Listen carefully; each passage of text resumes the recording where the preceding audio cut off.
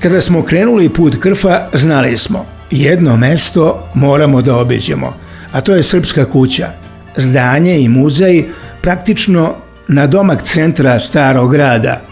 Kuća u koju ulazite sa blagim uzbuđenjem, a odavde, sa ovog mesta, izlazite duboko potrešeni, sa suzama u očima.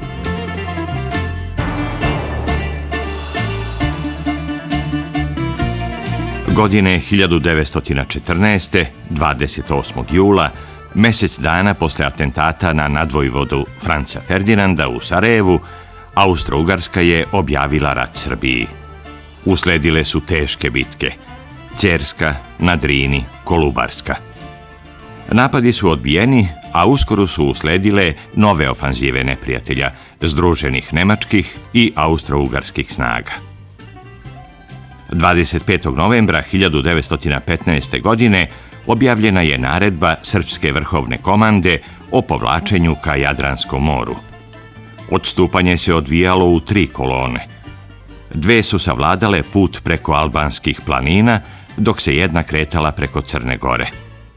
Prosečna visina planina preko kojih se prelazilo iznosila je 1800 metara. Hladna zima i nestašica hrane bili su najveći neprijatelji.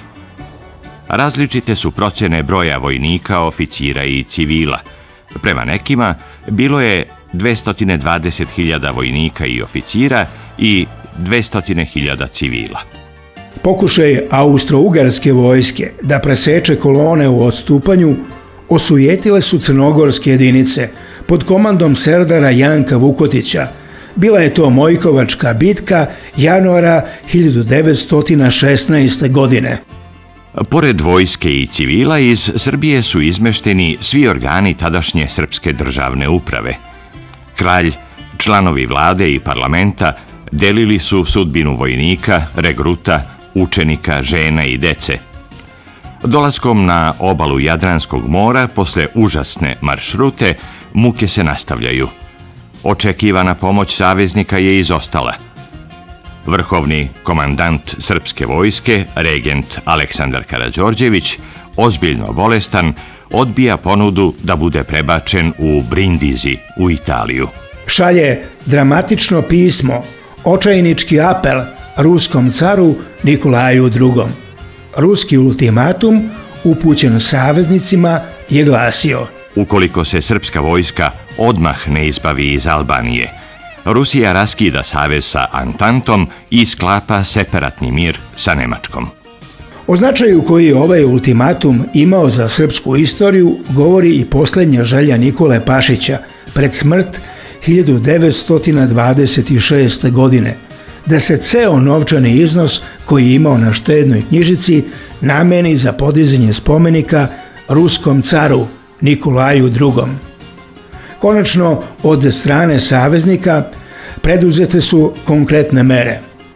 Prvih 12.000 uglavnom zdravstveno najugroženijih boraca evakuisano je u Bizertu, luku u Tunisu, a posle zahteva srpske vlade preostali ljudi zbrinuti su na ostrovu Krf.